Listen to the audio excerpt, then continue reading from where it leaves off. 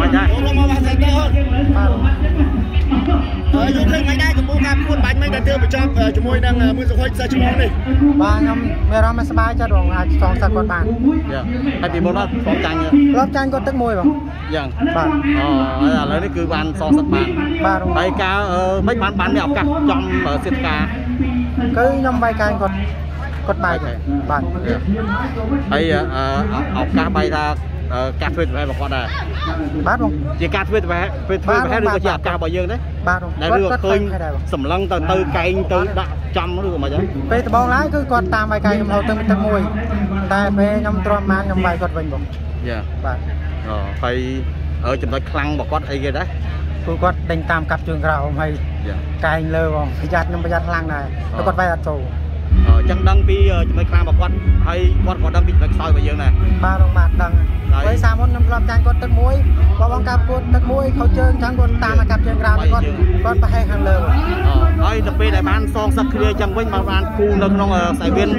គុណខ្មែរនេះអញ្ចឹងខំប្រឹងជើងក្រោមបន្ថែម គាត់ដឹងហ៎បាទ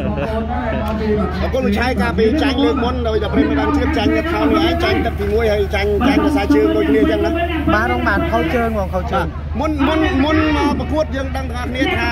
សុខហុចនេះគាត់បកាយជើងហើយបាញ់មិញឃើញទឹកទី1ទឹកទី2ដូចចង់ចាប់របស់សុខហុចដែរអឺមិនបាត់ធន់បានវិញ បាទទឹកមួយចូលច្រើនដែរបងជើងក្រោមចង់ទៅម្ដងម្ដងដែរបងតែខ្ញុំណាមើលឃើញទៅហើយបាទតែស្ដារស្ថានភាពមកវិញបាន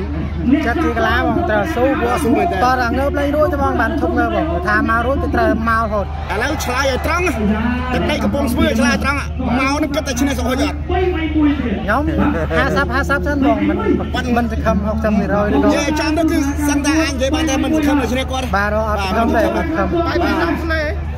ហើយប៉ុន្តែប៉ុន្តែការមកប៉ះគ្នាលើនេះគឺល្អណាស់ហើយឃើញថាសុំបានមែនតើក្នុងវិច័យបាទបាទអូខេវិច័យមានអីយើងទៅកាន់ fan យើង